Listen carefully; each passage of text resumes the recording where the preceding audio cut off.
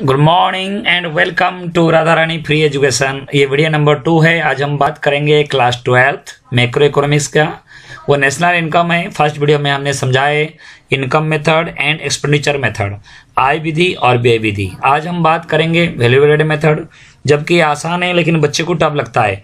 क्योंकि इसमें समझ में नहीं आता है, कोई स्पेसिफिक फार्मूला ज़्यादा बढ़िया नहीं है तो बच्चे सोचते हैं कि ये बहुत बेकार है और यही उनको डिफ़िकल्ट लगता है। ठीक है बेटा? चलिए इसमें हम क्या चीज़ डिस्कस करेंगे? इसमें क्या क्या क्वेश्चन आ सकता है? या तो उसमें पूछा जाएगा, देखो इसमें वैल्यू ऑफ़ आउटपुट पूछ लेगा, कभी सेल्स पूछ लेता है, कभी इंटरमीडिएट कंजप्शन पूछेगा, मध्यवर्ती जो उपभोग है, ठीक है ना? या gross value added at F C पूछ लेगा तो इस टाइप का क्वेश्चन इसमें आ सकता है। कभी कभी नेशनल इनकम भी आ सकता है, वो भी आपको ध्यान देना पड़ेगा, ठीक है? तो लास्टली आपको रिक्वेस्ट किया जाएगा शेयर लाइक और सब्सक्राइब ज़रूर करना आप वीडियो को। ठीक है, चलो आगे चलते हैं हमारे जो वीडियो में मेन वीडियो में। फ़र्स्ट जो वीडियो था, मैंने आपको समझाया था एमपी का मतलब होता है मार्केट प्राइस बाज़ार कीमत। एफसी होता है फैक्टर कॉस्ट या उसे साधन लागत। अगर मुझे एमपी में से एफसी करना है, मुझे माइनस एनआईटी करनी है एनआईटी का मतलब होता है नेट इनडायरेक्ट टैक्स उसको बोलते हैं शुद्ध अप्रत्यक्ष कर। ये शुद्ध अप्रत्यक्ष कर होता क्या है? कैसे फाइंड आउट करेंगे? अप्रत्यक्ष कर माइनस में आर्थिक सहायता सब्सिडीज अगर एफसी को मुझे एमपी करना है फैक्टर कॉस्ट को मुझे मार्केट प्राइस करनी है साधन लागत को मुझे, कारक लागत को मुझे बाज़ार कीमत करनी है तो एनआईटी मुझे ऐड करना है। ऐसे ग्रोस को नेट करोगे तो आपको माइनस आप डेप्रिसिएशन करोगे, जिसे हिंदी में मूल्यह्रास बोलते हैं, स्थायी पूंजी का उपभोग भी बोलते हैं, और नेट को अगर ग्रोस करनी है तो उसको हम डेप्रिसिएशन को जोड़ देते हैं, या consumption of fix capital add करते हैं। F N F I A में भी आता है net factor income from abroad दो आता है फ्रॉम और टू मैं फ्रॉम वाला इसमें बताया नेशनल को जब डोमेस्टिक करेंगे, राष्ट्रीय को जब घरेलू करेंगे बेटा एन एफ़ आई ए हमें माइनस करना है, और डोमेस्टिक को जब हमें नेशनल करनी है तो एन एफ़ आई ए को हमें प्लस करना है. ये फ्रॉम के साथ है. लेकिन टू के साथ उल्टा होगा. टू के लिए ये प्लस हो जाएगा, वो माइनस हो जाएगा. ठीक है? चलिए, ये तो मैंने फ़र्स्ट वीडियो में आपको बताया था. लेकिन कभी कभी क्या होता है? पूछा जाता है NNP national income find out करो. बच्चे समझ नहीं पाते हैं कि हमें क्या फाइंड आउट करना है। तो वो होता है N N P at F C net national product at factor cost अगर क्वेश्चन आता है एन एफ़ आई ये दो प्रकार की है net factor income from abroad या net factor income to abroad तो टू के लिए इधर प्लस और इधर माइनस हो जाएगा, ठीक है बेटा? और अगर मान लो कि आपको क्या करना है you have given G D P M P G D P M P हमें दे रखा है। हमें निकालना है N N P M P तो आप छोटी सी बात देखो ग्रोस को नेट करोगे डेप्रिसिएशन माइनस करो। फिर आप एक चीज़ देखो डोमेस्टिक को नेशनल करोगे एन एफ़ आई ए को आप जोड़ दो। फिर आपका एम पी को एफ़ सी करोगे माइनस एन आई टी कर दो। ऐसे जब आप प्रैक्टिस करोगे, आपको हो जाएगा। ऊपर जो मैंने वन टू थ्री बताया बेटा उससे आप कर सकते हो। चलिए दूसरा एक एग्ज़ाम्पल जो फ़र्स्ट वीडियो में बताया था N D P F C दे रखा है और आपको G D P GDP M P M P है बेटा एमसी नहीं एम पी वो पिछले वीडियो में भी गलत हुआ हुआ हाँ ठीक है। क्या एनडीपीएफसी दे रखा है और कैलकुलेट करनी है हमें N G N P M P मतलब net domestic product at factor cost और क्या कैलकुलेट करनी है? Gross national product at market price तेल देखो नेट को ग्रॉस करोगे प्लस में डेप्रिसिएशन बिल्कुल। डोमेस्टिक को नेशनल करोगे plus N F I A from वाला अगर टू होता तो माइनस करते। एफ़ सी को एम पी करोगे plus N I T clear हो गया बेटा आपको? बिल्कुल। चलिए, आगे चलते हैं मैं इनकम मेथड और एक्सपेंडिचर मेथड आपको करा चुका हूँ। इसमें आपको थोड़ा दिखा देता हूँ ऐसे वीडियो थोड़ा सा इसमें दिखा दिया मैंने आपको, लेकिन हम आज हम आएँगे वैल्यू एडेड मेथड जो कि इंपॉर्टेंट मेथड है। Step two compute national income identify all the producing unit in the domestic economy and classify them into primary, secondary, and tertiary sector. प्राथमिक क्षेत्र में क्या आता है? द्वितीयक में आता है? तृतीयक में आता है? वो अलग अलग आप कर दो, ठीक है? और G V okay G V A मतलब G D P M P जो होता है value of output minus intermediate consumption ये उसकी फॉर्मूला होता है। Value of output minus intermediate consumption या तो आप ये भी कह सकते हैं, क्या आता है? ना आप ये भी ले सकते हैं। वैल्यू ऑफ़ आउटपुट की जगह पर आप ये ले सकते हो sales plus change in stock ठीक है? ये sales plus change in stock जो होता है, वो वैल्यू ऑफ़ आउटपुट का होता है। और इंटर बस ये दो लाइन आप अगर अच्छी तरह से समझोगे तो आपको आ जाएगा। चेंज इन स्टॉक क्या होता है? ना closing stock minus opening stock ज़्यादा कंफ्यूज नहीं होना है। ये दो लाइन है। वैल्यू पहले तो वैल्यूएड मेथड में जो आप फाइंड आउट करके आप आएगा, वो जीडीपी एमपी होता है या जीवीए होता है। ये क्लियर हो जाना। एफसी में नहीं आता। इनकम मेथड में तीनों को जोड़ते हो। COE operating surplus mix income वो आता है एनडीपी एफसी एक्सपेंडिचर मेथड में तीनों को जोड़ते हो वो आपका जीडीपी एमपी और एनडीपी एमपी आता है। लेकिन वैल्यूडेड मेथड में जो तीनों को जोड़ोगे जो आपको ये ये जो फॉर्मूला लगाओगे इसमें आने वाली चीज़ें होता है जीडीपी एड एमपी क्लियर हो गया? लेकिन वैल्यू ऑफ़ आउटपुट के जगह पर आप sales and change in stock लगा सकते हो। क्लियर हुआ? तो ऐसे आप निकाल सकते हो। तो अच्छी तरह से मैं नीचे लिखा हुआ है इसमें देखो। आ, ये प्रोडक्ट मेथड में क्या होता है? ना ये ऊपर जो लिखा है उसको आप ध्यान देना है। तो ये क्या करना है? ना, ये ये जो होगा आपका सेल्स है सेल्स भी आपका आता है, ना प्राइस इनटू क्वांटिटी पी में से क्यू को आउटपुट सोल्ड कितना हमने बेचे, ये क्वांटिटी माना जाता है। प्राइस पर यूनिट ऑफ़ आउटपुट एक प्राइस एक यूनिट मतलब एक कीमत कितना होता है? एक वस्तु की कीमत कितना है? या पर आउटपुट का प्राइस कितनी है? तो सेल्स की जगह पर पी इंटू क्यू लगा सकता हूँ। चेंज इन स्टॉक के जगह पर मैं लगाऊँगा closing stock minus opening stock ये हो गया मेरा क्या है वैल्यू ऑफ़ आउटपुट तो वैल्यू ऑफ़ आउटपुट का जगह पर क्या लगाएँगे? Sales plus change in stock आप लगा सकते हो। क्लियर हो गया बेटा आप लोग? उसके बाद क्या करेंगे? अगर आपको निकालना है इन नेशनल इनकम जिसे N N P F C लेकिन हमें यहाँ पे दे क्या रखा है? जो फाइंड आउट क्या हो जाता है, ना N D P at M P क्या होता है? N D P at M P हो जाता है। तो N D P at M P हो जाता है तो N D P at M P हो जाएगा तो उसमें हम क्या फाइंड आउट करेंगे? ना वो चीज़ हमें फाइंड आउट करना है तो कैसे करेंगे? ना, देखो नेट को ग्रॉस करोगे ग्रॉस को नेट करोगे माइनस डेप्रिसिएशन करोगे डोमेस्टिक को नेशनल करोगे plus N F I A करोगे, ठीक है? ये आप to determine the national income from G D P at M P यहाँ पे बड़ा माइनस दे रखा है, बिल्कुल नहीं। देखो, मैं आपको ये फॉर्मूला दे रखा है, मैं बता देता हूँ क्या है। G D P M P दे रखा है तो ग्रोस को नेट करने के लिए माइनस डिप्रिसिएशन बिल्कुल बढ़िया है, और डोमेस्टिक को नेशनल करने के लिए प्लस एन एफ़ आई आपको जोड़ना पड़ेगा। उसके बाद एम पी को एफ़ सी करने के लिए क्या होता है? माइनस एन आई टी तो minus I T minus subsidies I T हो गया आपका plus minus minus minus minus plus ये आप कर लो। तो और प्रोडक्ट मेथड के लिए क्या करना पड़ता ठीक बेटा, समझ में आ गया। तो जैसे N N P F C है तो अगर G D P M P को हमें नेशनल इनकम फाइंड आउट करना है तो ग्रोस को नेट करोगे डिप्रिसिएशन करोगे, जिसके हिंदी मूल्यह्रास है, और डोमेस्टिक को बेटा नेशनल करोगे तो एन एफ़ आई आपको ऐड करना पड़ेगा। अगर फ्रॉम दे रखा है ऐड करोगे टू दे रखा है तो माइनस करोगे, ठीक है? और माइनस में N I T N I T का होता है ब्रैकेट लगाओगे आई टी माइनस सब्सिडीज तो plus minus minus minus minus plus ठीक है? तो इस प्रकार की आपको निकालना पड़ेगा। और दूसरा अगर आपको ऐसे दे देगा कैसे चाहिए? ना आपका वैल्यू ऑफ़ आउटपुट दे दिया प्राइमरी सेक्टर का और value of output secondary sector tertiary sector तीनों का, जो वैल्यू ऑफ़ आउटपुट निकाल देना तीनों का और तीनों का जो क्या है, ना इंटरमीडिएट कंजप्शन माइनस कर दो। मतलब ये मान लो सौ सौ का प्रोडक्शन हुआ आउटपुट आया, ये दो सौ, ये तीन सौ तो तीन सौ, दो सौ, पाँच सौ छः सौ और उसमें अगर पचास, साठ, सत्तर खर्चा हुआ तो तीनों को जोड़ के इसको इसमें से माइनस कर दो तो जो आपका आया, वो आपका आ जाएगा G D P at M P आ जाएगा। तो आपको समझ में आ गया बेटा जो बताया मैंने आपको? मैंने आपको बताया, ज़्यादा फॉर्मूला आपको याद करने की ज़रूरत नहीं है। ये तीनों आपको मेन है। जी भी ये पूछा जाएगा तो आप वैल्यू ऑफ़ आउटपुट निकालोगे माइनस इंटरमीडिएट कंजप्शन उसमें आपको काम आ गया जीडीपी एमपी अगर आपको पूछेगा, सकल घरेलू उत्पाद, बाज़ार कीमत पर सकल घरेलू उत्पाद, या gross domestic product at MP तो यही सिंपली फॉर्मूला लगाना है value of output minus intermediate consumption अगर ये अवेलेबल नहीं है, अगर आपको गिवेन नहीं है वैल्यू ऑफ़ आउटपुट तो आप क्या करेंगे? तो आप उसमें, उसके लिए क्या करेंगे? ना उसमें आपको लगाना है sales plus sales plus change in stock minus intermediate consumption आपको लगानी है। क्या लगानी है?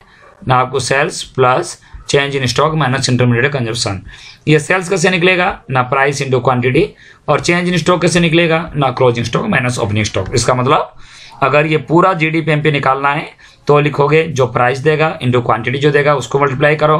प्लस में closing stock minus opening stock करोगे माइनस में इंटरमीडिएट कंजप्शन करोगे, वो आपका निकल जाएगा G D P at M P उसमें क्वेश्चन आएगा बेटा सेल्स पूछ लेगा। सेल्स पूछेगा तो क्या करोगे? ये माइनस है उधर जाके प्लस हो जाएगा, ये प्लस है उधर जाके माइनस हो जाएगा। इंटरमीडिएट कंजप्शन पूछेगा, बेटा, क्या करोगे? ना GDP MP minus value of output हो जाएगा। अगर चेंज इन स्टॉक पूछेगा, क्या करोगे? ना, ये जो जीडीपी एमपी माइनस सेल्स हो जाएगा प्लस इंटरमीडिएट कंजप्शन हो जाएगा। इसी में ही फॉर्मूला बन जाएगा। आपको अलग फॉर्मूला नहीं है कि आपका सेल्स के लिए अलग फॉर्मूला याद करो वैल्यू ऑफ़ आउटपुट के लिए अलग फॉर्मूला याद करो इंटरमीडिएट कंजप्शन के लिए अलग फॉर्मूला आप ट्राई करो। यही दोनों छोटे छोटे फॉर्मूला है, इससे सारे याद करना, उससे सारे आपको तैयारी करना है।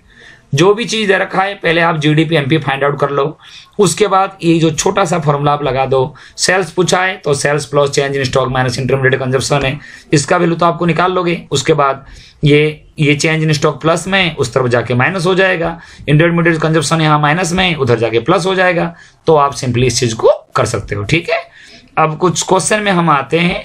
देखो कुछ क्वेश्चन हम एग्ज़ाम आड़ी का कुछ क्वेश्चन लेते हैं, जिसमें आपको समझाते हैं, ठीक है बेटा? अभी वेट करो दो मिनट। चलिए देखिए क्वेश्चन नंबर वन हम देखते हैं, क्या दे रखा है? From the following data calculate the gross domestic product at MP इसका मतलब जीडीपी एट एमपी आपको फाइंड आउट करना है। ये वैल्यूएटेड मेथड है, क्योंकि value of output value of output intermediate consumption ये दे रखा है। तो आपको तो पता लग ही जाएगा कि आपका वैल्यूएटेड मेथड है। लेकिन आप पहले देखो, उसके आंसर पीछे देखने से पहले आप उसको पहले थोड़ा और ऊपर कर देता हूँ, जिससे आपको आंसर ना दिखे। तो बेटा, थोड़ा सा आप उसको बता अच्छा आप बताओ मुझे कि ये जो पॉइंट्स आपको दे रखा है इंटरमीडिएट हाँ थोड़ा सा और नीचे जिसमें आप सारा पॉइंट्स आ जाए। सॉरी इसमें हाँ इंटरमीडिएट कंजप्शन तक। हाँ इतना तक, चलिए। आप बताओ मुझे क्या क्या पॉइंट्स इसमें आ सकता है? Value of output primary sector आएगा, बिल्कुल, प्राथमिक क्षेत्र में जो भी चीज़ें हैं, वो आप ले सकते हो। तो ये पॉइंट तो आपको लेना ही लेना है, वो आपका हो गया, पहला पॉइंट आपको लेना है, चलिए। उसके बाद आपको क्या करना है? देखो और कौन कौन सी लेंगे कौन कौन सी माइनस करोगे। देखो कहाँ कहाँ से आउटपुट मुझे दिख रहा है। क्या आपको वैल्यू ऑफ़ आउटपुट ये भी दिख रहा है, ये आपका तृतीय क्षेत्र या टेटरी सेक्टर में दिख रहा है, ये भी लेना है हमें दो। और कौन सा दिख रहा है हमें? ना ये सेकेंडरी सेक्टर में भी दिख रहा है द्वितीय क्षेत्र में भी दिख रहा है। इसका मतलब फॉर्मूला क्या होती है? Value of output minus intermediate consumption तो वैल्यू ऑफ़ आउटपुट आप तीनों सेक्टर में ले लो। ये हो गया पहला, ये हो गया दूसरा सातवां पॉइंट ये हो गया तीसरा। पर प्राइमरी सेकेंडरी और टर्टरी सेक्टर तीनों का आपका हो गया। उसके बाद जो इंटरमीडिएट कंजप्शन है, वो देखो। तो प्राइमरी सेंटर सेक्टर का जो है, ये आपको माइनस करना पड़ेगा। और सेकेंडरी सेक्टर का जो है, ये हमें माइनस लेना पड़ेगा। और टेटरी सेक्टर का जो है, ये मुझे माइनस करना पड़ेगा। जबकि एमपी में पूछा है तो कुछ और एक्स्ट्रा करने की आवश्यकता नहीं है। डोमेस्टिक पूछा है तो एन ढूँढने की आवश्यकता नहीं है। अगर FC होता तो माइनस में एन करना पड़ता, लेकिन हमें इस एन का कोई आवश्यकता यहाँ पे नज़र नहीं आ रहा है। मुझे यहाँ पे ये एन एफ़ आई ए यहाँ पे मुझे कोई नज़र, मुझे लेना नहीं है, क्यों नहीं लेना है? हमें डोमेस्टिक प्रोडक्ट निकालना है, घरेलू आय निकालनी है, और जो हमारे जो फॉर्मूला कहता है वैल्यूएटेड मेथड में वो क्या कहता है? ना value of output minus intermediate consumption तो वैल्यू ऑफ़ आउटपुट तीनों का ले लो, जोड़ दो, और तीनों का जो आपका कंजप्शन है माइनस कर दो। क्लियर हो गया बेटा? बड़े प्यार से समझ में आ गया? थोड़ा बहुत ये कमेंट में आप कर दिया करो कि समझ में नहीं आता है, ज़्यादा जल्दी बोलता हूँ, आवाज़ समझ में नहीं आता है, क्या चीज़ें हैं। ऐसे तो कोई ज़्यादा नहीं कि मैं बड़ा और कोई भाषा बोलता हूँ, लेकिन उम्मीद करता हूँ कि आपको ये समझ में आ गया होगा। बहुत अच्छा चीज़ें हैं और नेशनल इनकम तुम्हारा जो इकोनॉमिक्स की जो मैक्रो का है एक ये नेशनल इनकम जो है, जो बच्चे परेशान परेशान होते हैं, और तो थ्योरी पार्ट वो तो कर लोगे, और उसके बाद जो एग्रीगेट डिमांड एग्रीगेट सप्लाई उसमें भी ये मार्केट इक्विलिब्रियम थोड़ी सी आपको दिक्कत होती है अदरवाइज़ वो भी आसान चैप्टर है, ये थोड़ा देख लो। और खास करके वैल्यूएडेड मेथड में ज़्यादा परेशानी बच्चों को होती है तो मेरा रिक्वेस्ट रहेगा कि वीडियो शुरू से आप लास्ट तक देखो। ठीक है बेटा? चलिए आंसर उसका देखते हैं। देखो, तीनों को जोड़ा गया। प्राइमरी सेक्टर टेटरी सेक्टर और सेकेंडरी सेक्टर उनमें से जो इंटरमीडिएट कंजप्शन है, उसको माइनस कर दिया गया जो आपका आया आंसर है। क्लियर हो गया? सेकंड में आते हैं। सेकंड तो बेटा आपका इनकम मेथड है आप देखोगे सेकंड मैंने करा दिया था। Consumption of employees operating surplus mixed income तो इसको आपको कराने की ज़रूरत नहीं है। हाँ नेट डोमेस्टिक प्रोडक्ट ये भी आपका wages and salaries import export ये भी आपको मैंने कराया था। जो आपका मिलेगा इसमें, वो आपको करा जाएगा। ठीक है बेटा?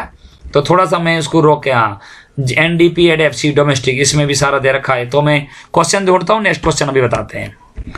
चलिए नेक्स्ट क्वेश्चन तरफ़ आते हैं बेटा। अब हम देखते हैं। Firm A spend five hundred rupees क्या कर रहा है? Five hundred rupees on non factor input and produced good worth nine hundred rupees it sold goods worth six hundred and three hundred to firm B and consumer household respectively find the out gross value added by firm A firm A द्वारा। तो आप देखो value of goods produce कितना उसने produce किया? ना उसने B को बेचा और हाउस होल्ड को बेचा। दोनों मिलकर कितना है? ना 600 और 300 ये हो गया 600 हो गया, ये 300 ये 900 आपको दे रखा है। कितना दे रखा है? ना प्रोड्यूस किया उसने 900 किस किस पे किया वो छोड़ो। ये हो गया 900 और हो गया ये 300 ठीक है? लेकिन उस पर खर्चा कितना किया? ना स्पेंड कितना किया? कमाई तो करा उसने 600 और 300 900 रुपए 900 रुपीज़ मान लो वैल्यू ऑफ़ आउटपुट हो गया। माइनस इंटरमीडिएट कंजप्शन या खर्चा कितना किया? 500 तो नौ में से आपका चला जाएगा 500 तो बचेगा कितना?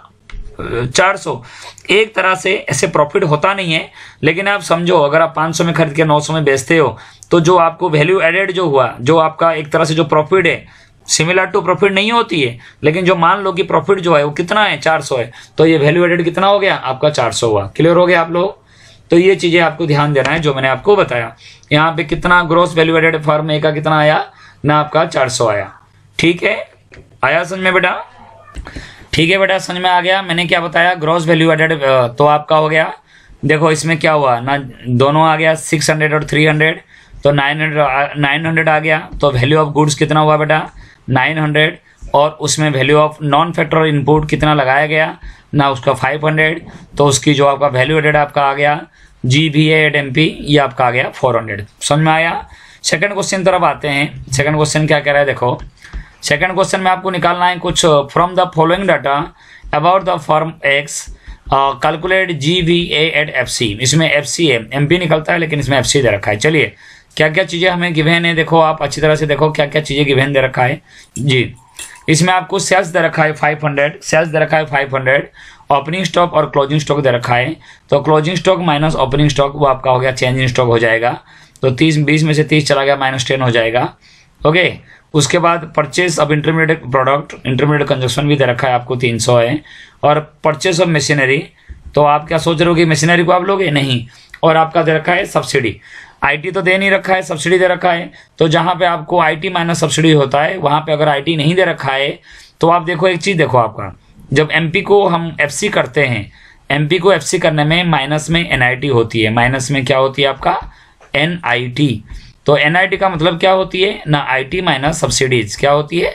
ना आईटी माइनस सब्सिडीज तो जैसे आप आईटी करोगे तो माइनस में आईटी हो जाएगा और प्लस में सब्सिडीज हो जाएगा। ठीक है? तो यहाँ पे आपका प्लस में हो जाएगा प्लस में सब्सिडीज तो अगर आईटी कहीं नहीं दे रखा है तो आपको माइनस नहीं करना है, बच्चे माइनस कर देते हैं, जबकि प्लस करना पड़ता है। कब? जब एमपी को एफसी करते हैं। तो यहाँ पे आप देखो जी भी एड एफ़ में क्या क्या है? ना sale plus sales plus change in stock plus क्या होता है? ये एक साथ सारे फॉर्मूला दे दिया तो आपको थोड़ा इसमें कंफ्यूज होने की ज़रूरत नहीं है। आपको क्या बताया गया था? ना आपको बताया गया था, ये थोड़ा क्लिक करूँ हाँ।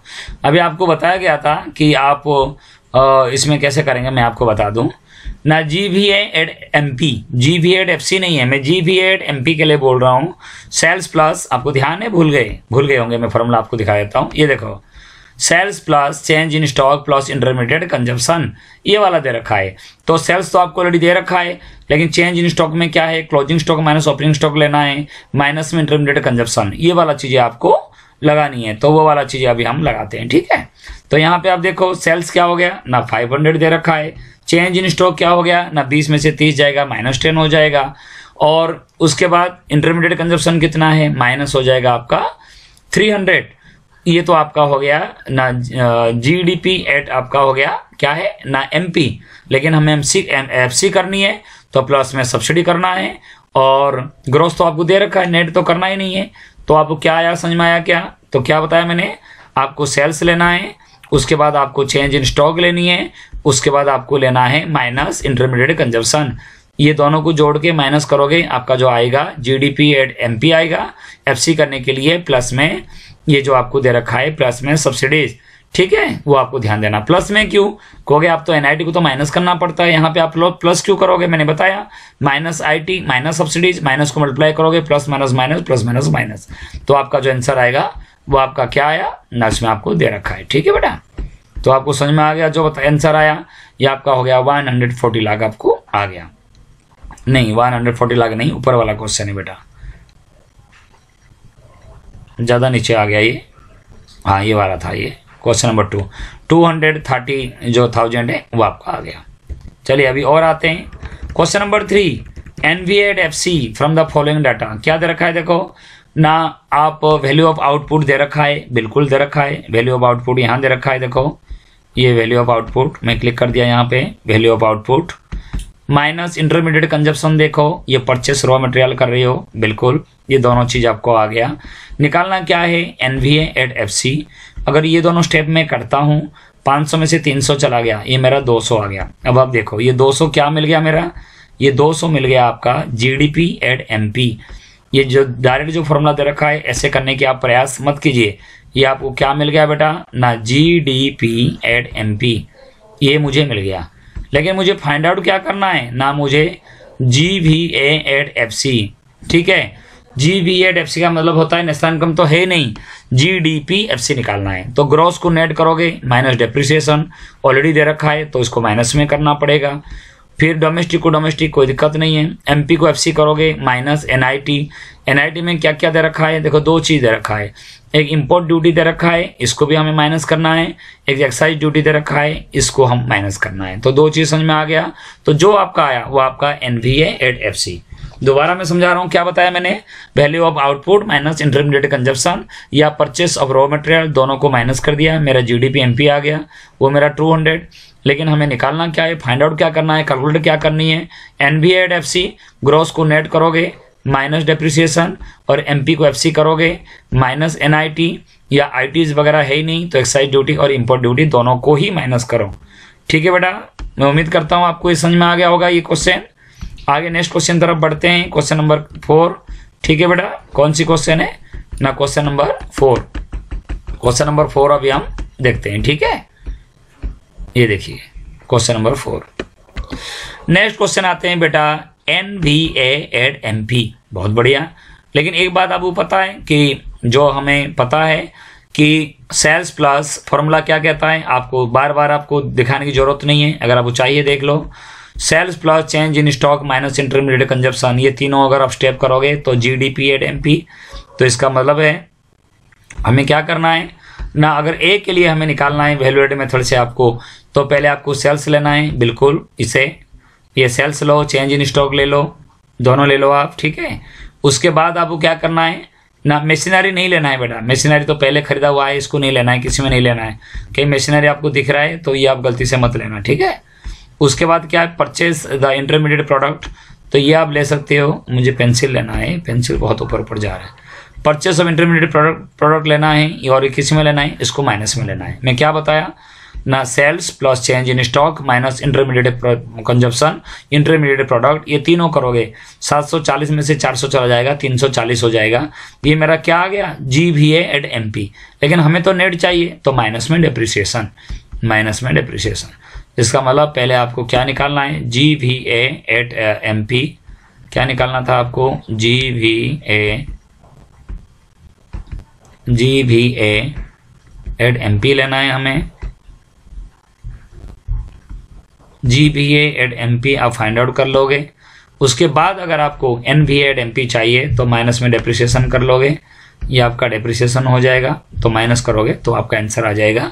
उसे बोलते हैं N V at M P वो आपका आ जाएगा। ठीक है? जो बताया मैंने आपको, ये वाला आपको समझ लेना। नेक्स्ट क्वेश्चन नंबर बेटा देखो question number five from the following data calculate G V at F C बिल्कुल वही है। तो क्या करना है इसमें? ना आप देखो क्या सेल्स दे रखा है। क्वेश्चन नंबर फाइव आप देख सकते हो, इसमें क्या क्या पॉइंट देखो, अपने आप प्रयास करो करने के लिए। पहले आंसर में नहीं दिखा रहा हूँ, थोड़ा सा मैं ऊपर कर दिया। आप खुद ट्राई करो बेटा, उसके बाद आप उसको आंसर बताएँगे, बताओ क्या क्या आएगा। G V at F C sales दे रखा है बिल्कुल आपको लेना पड़ेगा, वो भी प्लस में लोगे। रेंट नहीं है सेल्स और चेंज इन स्टॉक लोगे, बिल्कुल आप ले लो चेंज इन स्टॉक आप ले लेना। उसके बाद माइनस में परचेस ऑफ़ रॉ मटेरियल जो आप, ये आपका हो जाएगा प्लस में नहीं, बल्कि ये क्या हो जाएगा? ना आपका, ये माइनस में हो जाएगा। इसका मतलब इन दोनों को जोड़ के, इन दोनों को ऐड करके इसको मुझे माइनस करनी है। क्या आ गया? G V at M P और उसको एफ़ सी करने के लिए क्या होता है? हमें एन आई टी माइनस करना पड़ेगा। क्या एन आई टी हमें दे रखा है? एन आई टी हमें नहीं दे रखा है। तो एन आई टी का फॉर्मूला क्या मैंने बताया? आई टी माइनस सब्सिडीज आपको एम पी में से एफ़ सी करने के लिए माइनस हमें क्या करना पड़ता है? ना एन आई टी करना पड़ता है। क्या करना पड़ता है? एन आई टी और एन आई टी तो आपको निकालने के लिए आपको पता है क्या करना पड़ेगा? ना आपको उसको एन आई टी तो आप एन आई टी निकालने के लिए क्या करोगे? बिल्कुल आप उसी हिसाब से फाइंड आउट करेंगे। कैसे? I T minus subsidies clear हुआ? तो मैं आपको यहाँ पे लिख लेता हूँ थोड़ा सा। देखो इसमें। ठीक है? तो देखो ये क्या बता रहा हूँ मैं आपको। थोड़ी सी इसमें काम नहीं कर रहा है ढंग से। चलिए कोई नहीं। थोड़ा सा मैं सही तरह से जो बंद हो रहा है उसको मैं कर दो। ठीक है? तो क्या क्या लेना है बेटा आपको? पता लग गया। ना सेल्स को लेना है उसके बाद आपको सेल्स ले लोगे उसके बाद आपको ले, लेना है। सेल्स के बाद चेंज इन स्टॉक ले लोगे, ठीक है? क्या ले लोगे? चेंज इन स्टॉक उसके बाद क्या करोगे? माइनस में परचेस ऑफ़ रॉ मटेरियल ले लोगे, ठीक है? और और क्या करना है? प्लस सब्सिडीज कर देना। प्लस सब्सिडीज क्यों करोगे? ना माइनस में एन होता है तो माइनस में आई माइनस सब्सिडीज तो plus minus minus minus minus plus तो इसलिए आपका ये आपका आ जाएगा। जो आपका आ जाएगा, ये G V at F C आपका आ गया। ऐसे आप क्वेश्चन नंबर सिक्स भी बिल्कुल सेम चीज़ है वो आप कर सकते हो, मैं आपको दिखा देता हूँ। जिसके पास नहीं है, वो आप हेल्प ले सकता है। हाँ वैल्यू ऑफ़ आउटपुट अब थोड़ा सा ये अलग दे दिया, वो आपको थोड़ा सा समझने की आवश्यकता है। वो देखो, हम लोग करते हैं वह वैल्यू ऑफ़ आउटपुट ऐसे वैल्यू ऑफ़ आउटपुट के लिए तो कोई फॉर्मूला आपको है ही नहीं, मैंने आपको बताया। तो अब क्या होता है, ना आपका वैल्यू ऑफ़ आउटपुट के लिए, या तो आप N N P F C पहले आप फाइंड आउट कर लो। क्या फाइंड आउट करना है? मैं बताता हूँ आपको क्या फाइंड आउट करना है। चलिए देखिए बेटा वैल्यू ऑफ़ आउटपुट क्या होता है? ना G D P at M P जो या तो G V at M P बोला जाता है जी बी ए वो क्या होता है? Value of output minus intermediate consumption तो पहले आपको G D P at M P find out करना पड़ता है।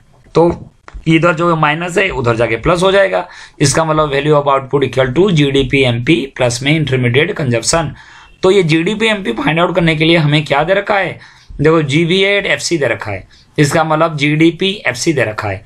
तो नेट को ग्रोस करने के लिए डेप्रिसिएशन ऐड कर दो। आ गया क्या? पहले आप जीडीपी एमपी निकालो तो सही, फिर तो आप माइनस प्लस में इंटरमीडिएट कंजप्शन करोगे तो आपको जीडीपी एड एमपी कैसे फाइंड आउट होगा? ये आपको N N V at F C दे रखा है। तो नेट को ग्रोस करने के लिए डेप्रिसिएशन ऐड हो गया। देखो डेप्रिसिएशन ऐड कर दिया। उसके बाद आपको ना ये जो एफ़ सी दे रखा है, उसे एम पी करने के लिए क्या होता है? Plus N I T plus N I T क्या होता है? I T minus subsidies I T minus subsidies ये इधर हो गया। एक्साइज ड्यूटी माइनस सब्सिडी हो गया। उसके बाद क्या करेंगे? ना ये मेरा हो जाएगा G D P M P दोबारा मैं आपको बोल रहा हूँ, क्या बता रहा हूँ? ना N V at F C को आप G D P M P में पहले बदलना पड़ेगा। तो आपको आसान हो जाएगा। कैसे आसान होगा? ना value of output equal to GDP at MP plus में इंटरमीडिएट कंजप्शन क्या जीडीपी एट एमसी आपको दे रखा है? नहीं दे रखा है। तो जीडीपी एट एमसी आपको पहले फाइंड आउट करनी है। कैसे फाइंड आउट करनी है? ना एनवी एट एफ़ या जीडीपी एट एफ़ सी दे रखा है। नेट को ग्रॉस करोगे डेप्रिसिएशन ऐड करो, और उसके बाद आपको एमपी को एफसी को एमपी करोगे प्लस एनआईटी करो तो एनआईटी बराबर में होगा आईटी माइनस सब्सिडीज तो इसका मतलब net value added at FC plus में डेप्रिसिएशन प्लस में एक्साइज ड्यूटी माइनस सब्सिडीज ये आपका हो गया जीडीपी एड एमपी तो प्लस में इंटरमीडिएट कंजप्शन कर दो तो आपका आ गया वैल्यू ऑफ़ आउटपुट बच्चे ढूंढते हैं वैल्यू ऑफ़ आउटपुट का फॉर्मूला क्या है, उसको याद करेंगे। बिल्कुल नहीं है। एक ही लाइन है GD P at MP equal to value of output minus intermediate consumption तो आप GD P at MP find out करो, जो जो दे रखा है, इसमें जो दे रखा है, उसको फाइंड आउट करके फिर आप जो माइनस है, इधर हो गया प्लस आसानी से हो जाएगा। ओके बेटा, आ गया समझ में seven question question number eight में आ जाओ। इंटरमीडिएट कंजप्शन बिल्कुल वही है। इंटरमीडिएट कंजप्शन आप देखो, इसमें थोड़ा सा ये ये थोड़ा सा सही तरह से नहीं हुआ पीडीएफ नहीं बन पाया। चलो मैं बता देता हूँ आपको question number eight question number eight में दे क्या रखा इंटरमीडिएट कंजप्शन पता है value of output minus intermediate consumption वही ऊपर वाला फॉर्मूला ले लो। अगर इंटरमीडिएट कंजप्शन पूछेगा तो आपको क्या करना पड़ेगा? ना, ये ये ये देखो। इंटरमीडिएट कंजप्शन पूछेगा तो क्या है? इधर बेटा माइनस है इधर आके प्लस हो जाएगा। तो value of output minus G GDP at MP यही तो फॉर्मूला है। ये माइनस था, लेफ़्ट में आके प्लस हो गया। ये G D P M P plus था, उधर जाके माइनस हो गया। तो इंटरमीडिएट कंजप्शन का फॉर्मूला हो गया value of output minus G D P at M P या G V at M P clear हुआ? तो अब उसमें देखते हैं। G D P M P सबसे बड़ी बात है G D P M P आप फाइंड आउट करो। लेकिन यहाँ पे भी वही दे रखा है N V at F C तो बेटा N V at F C दे रखा है तो इतना तो निकल नहीं सकता। तो आपको क्या क्या करना पड़ेगा, वो भी आप देख लो। ये आपको दे रखा है N V at F C दे रखा है। तो नेट को ग्रोस करने के लिए प्लस में डेप्रिसिएशन करोगे, बिल्कुल प्लस में डेप्रिसिएशन करो, और एफसी को एमपी करने के लिए माइनस एनआईटी तो माइनस सेल्टेक्स हो जाएगा, ठीक है ना? और प्लस में क्या हो जाएगा? सब्सिडीज ठीक है ना? तो आप क्या करोगे? तो क्या क्या चीज़ें करोगे आप? क्लियर हो रही है, नहीं हो रहा है? तो मैंने ये बता रहा हूँ कि I T N I T बराबर में होता है आई टी माइनस सब्सिडीज लेकिन एफ़ सी को जब एम पी करते हैं प्लस करते हैं प्लस करने का मतलब होता है ना ये आई टी माइनस सब्सिडीज तो ये आई टी को क्या करोगे? इसको सेल्स टैक्स इसको आप प्लस करोगे और सब्सिडीज को क्या करोगे आप? माइनस करोगे। या एनआईटी पहले आप अलग निकाल दो। पंद्रह में से पाँच जाएगा दस। इतनी कंफ्यूज नहीं होना है फिर आपको। ठीक है? और उसके बाद आपको क्या करना है? ना ये चीज़ आपको मिल गया। तो ये जो तीनों चीज़ करोगे, मैंने क्या बताया? N D P F C मिल गया। प्लस डेप्रिसिएशन तो हो गया G D G D P F C plus में N I T G G D P F M P हो गया। और उसको क्या करना है? ना value of output minus value of output minus G D P at M P मैं आपको लिख देता हूँ। बड़े अच्छी तरह से समझ में आएगा बेटा। ध्यान देना इंटरमीडिएट कंजप्शन के लिए कोई ऐसे फॉर्मूला नहीं आता है। उसके लिए आपको जीडीपी एमपी अगर आप फाइंड आउट कर लोगे, बड़े प्यार से आपको हो जाएगा। और GDP at MP find out करने के लिए क्या है? आपको कोई चीज़ दिया हुआ मिलेगा। N D P F C N V F C या N D P F C तो नेट को ग्रॉस करने के लिए प्लस में डेप्रिसिएशन और एफ़ सी को एम पी करने के लिए plus N I T N I T होता है आई टी माइनस सब्सिडीज वो करके इसमें जोड़ दो। तो आपको ये आ गया value of output minus G D P at M P वो हो गया आपका इंटरमीडिएट कंजप्शन वो आपको आ जाएगा। ठीक है बेटा? ये कौन सी क्वेश्चन नंबर एट हो गया? अब आ जाओ क्वेश्चन नंबर नाइन में। क्वेश्चन नंबर नाइन थोड़ा सा धुंधला है बेटा, क्योंकि ये जब है, ये नहीं है, दोबारा मैं ऐसे क्वेश्चन आपको दे दूँगा सेल्स निकालने के लिए आएगा। ये पूछा है सेल्स पूछा है। और उसमें क्या दे रखा है बेटा, आप देखो, मैं इसमें लिख देता हूँ। यही तो पढ़ नहीं पा रहे हो? तो N D P at F C वही चीज़ दे रखा है। N D P N D P at F C या N V at F C कोई बात नहीं। N D P F C दे रखा है। और उसके बाद शॉर्टकट में दे रखा है इंटरमीडिएट कंजप्शन मैंने उसको आईसी लिख दिया ठीक है? उसके बाद दे रखा है इनडायरेक्ट टैक्स तो मैंने इसको लिख दिया आईटी समझ में आ, आ रहा होगा बेटा आपको? इसमें दिख नहीं रहा है इसीलिए आईटी डेप्रिसिएशन इसको मैंने सिर्फ़ डेप लिख दिया डीई पी डेप लिख दिया ठीक है बेटा? डेप्रिसिएशन जिसको बोलते हैं मूल्य और हास ठीक है? और लास्ट में हो गया चेंज इन स्टॉक ये दे रखा है चेंज इन स्टॉक मुझे दिख रहा है लेकिन आपको नहीं दिख रहा होगा क्योंकि वीडियो में फिर और धुंधला हो जाता है। ये हो गया change in stock change in stock तो आपको ये पॉइंट दे रखा है तो आपको ये पॉइंट दे रखा है तो आप देखो। करना क्या है बेटा? सेल्स है। तो आपको पता है फॉर्मूला दोबारा मैं आपको दिखाता हूँ। बार बार इसलिए दिखा रहा हूँ कि आप बार बार कंफ्यूज ना हो। ये वाला फॉर्मूला आपको लगाना है GDP at M P equal to sales plus change in stock minus intermediate consumption बस ये वाला ये वाला जो छोटा सा फॉर्मूला ये लगा दोगे तो आपका काम चल जाएगा। ठीक है बेटा? तो मैं आपको ये वाला जो फॉर्मूला यहाँ से मैं उसको कॉपी करता हूँ। ठीक है, यहाँ से कॉपी करता हूँ और प्रयास करूँगा कि यहाँ उसको पेस्ट करने के लिए, जिससे कि आपको अच्छी तरह से वो समझ में आ जाए। देखो, अगर पेस्ट होता है तो अच्छी बात है। हो गया बेटा। तो क्या बताया? ना sales plus change in stock minus intermediate consumption तो ये जीडीपी एमपी पहले फाइंड आउट करो, तब तो ये सेल्स आ जाएगा। तो कहोगे सेल्स फिर कैसे निकलेगा? बेटा जीडीपी एड एमपी माइनस में चेंज इन स्टॉक प्लस में इंटरमीडिएट कंजप्शन बराबर में सेल्स हो गया। सेल्स का कोई अलग फॉर्मूला थोड़ी आप निकालोगे। तो मैंने क्या बताया? सेल्स इक्वल टू ये जो प्लस था लेफ़्ट हैंड साइड आके माइनस हो जाएगा। ये जो इंटरमीडिएट कंजप्शन ये माइनस में था लेफ़्ट हैंड साइड आके प्लस हो जाएगा। तो इसका अर्थ है, पहले जीडीपी एमपी फाइंड आउट करो आप। कैसे फाइंड आउट करोगे? भाई नेट को ग्रॉस करोगे तो डेप्रिसिएशन जोड़ दो। एफसी को एमपी करोगे एनआईटी आप जोड़ दो। क्लियर हो गया? तो ये जीडीपी एमपी आ गया। फिर आपको प्लस इंटरमीडिएट कंजप्शन ये आपको ऑलरेडी दे रखा है प्लस करो। माइनस में चेंज इन स्टॉक ये आपको दे चेंज इन स्टॉक दे रखा है ये कर लो। तो मैंने क्या बताया? ना एनडीपीएफसी के साथ क्या क्या करना पड़ेगा? ना नेट के साथ ग्रोस करना है तो प्लस डेप्रिसिएशन तो मैं आपको ले लेता हूँ फिर आ, उसको ले लिया मैंने। प्लस करना है मुझे तो डेप्रिसिएशन में आप प्लस कर दो ये आपका ग्रोस हो गया। उसके बाद एफसी को एमपी करने के लिए प्लस में आईटी लेना पड़ेगा। चलो इसको भी मैंने प्लस कर, कर करा दिया। ठीक है चलो, ये एनडीपीएफसी के साथ मैंने दो चीज़ प्लस कर दिया, वो आपको मिल गया। जीडीपी एड एमपी मिल गया। ठीक है बेटा, यहाँ तक तो क्लियर हो गया। अब हमें सेल्स कैसे निकलेंगे? निकालेंगे कैसे sales how can you calculate the sales तो बेटा, ये प्लस था, उधर जाके माइनस हो जाएगा तो चेंज इन स्टॉक ये देखो चेंज इन स्टॉक ये चीज़ को आप माइनस कर दो, जितनी भी रकम होगा तो माइनस माइनस प्लस हो जाएगा, ठीक है? इसको माइनस करना है, और माइनस में दे रखा है तो माइनस माइनस प्लस हो जाएगा। उसमें इतना क्यों घबराना है? तो अब ये माइनस था, इधर आके प्लस हो जाएगा।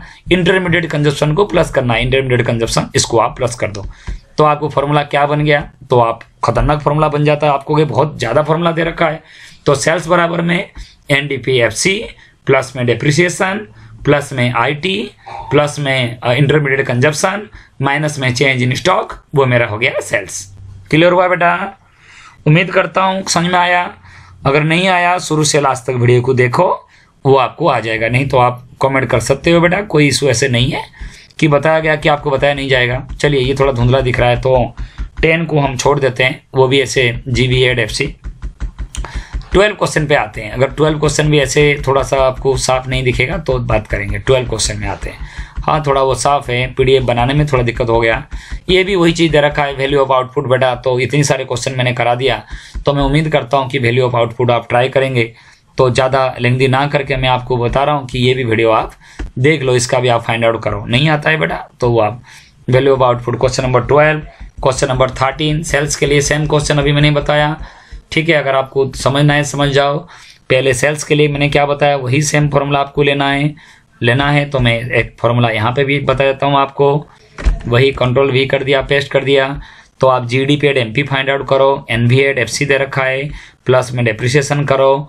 ठीक है, वो ग्रोस हो गया। और फिर एफ़ सी को एम पी करना है प्लस एन आई टी करो। और एन आई बेटा कैसे करोगे? सेल्टेक्स दे रखा है। सेल्टेक्स माइनस सब्सिडीज कर दो। जो आपका आ गया NIT आ गया, ठीक है? जब एन जी आ गया प्लस में इंटरमीडिएट कंजप्शन कर दो माइनस चेंज इन स्टॉक कर दो, आपका सेल्स आ जाएगा। आया बेटा समझ में अच्छी तरह से? तो मैं उम्मीद करूँगा कि जो वीडियो है, आप लोग थोड़ा सा जहाँ जहाँ दिख रहा है फोर्टीन भी है तो जहाँ जहाँ आपको दिख रहा है, वो आप करते जाओ। इसको आप प्रैक्टिस करना है। ये भी सीबीएसई में आया था बेटा। ठीक है ग्रॉस वैल्यू एडेड ये क्वेश्चन सारे दे रखा है, वो आप प्रैक्टिस कर सकते हो। आंसर भी है तो नहीं आया तो आप कमेंट बॉक्स में आप मुझे भेज सकते हो सर जी दोबारा समझा दो, वही क्वेश्चन मैं आपको समझा दूँगा, ठीक है? बहुत सारे बच्चे हैं जो कोविड के कारण ना स्कूल जा पा रहे हैं कोचिंग भी अवेलेबल नहीं है तो उन लोगों के लिए, उन बच्चों के लिए काफ़ी यूजफुल है। देखो बेटा, बहुत सारे टाइम आप दूसरे ऐसे अननेसरी वीडियो या गेम में आप अपना एमबी खराब करते हो और देखता हूँ, मैं खुद बच्चों के साथ रहता हूँ। मैक्सिमम बच्चे जो है पूरे दिन पबजी फ्री फायर में लगे रहते हैं। किसी की बाईस हज़ार रुपये उड़ा दिए, किसी ने बीस हज़ार रुपये तो आपको रिक्वेस्ट रहेगा, थोड़ा पढ़ाई में ध्यान दो बेटा। मैं ये नहीं कहूँगा कि इसमें आप बिल्कुल सब्सक्राइब करो, जो भी है। थोड़ा सा अगर आप लोग करोगे सपोर्ट तो थोड़ा बढ़िया भी है, मुझ मेरा इंटरेस्ट रहेगा कि थोड़ा बनाने के लिए, आप लोग के लिए। अदरवाइज़ भी कोई दिक्कत नहीं है। मैं तो करता रहूँगा फिर भी आप लोगों के लिए हेल्प तो इस उम्मीद के साथ इनकम एक्सपेंडिचर मेथड छोड़ दो। तो मैंने इस उम्मीद के साथ बेटा इस वीडियो को मैं एंड करता हूँ। तो प्रयास तो यही मेरा रहेगा कि आप लोग को समझ में आए और मैं कोशिश तो यही है कि आपको समझ में आ गया होगा।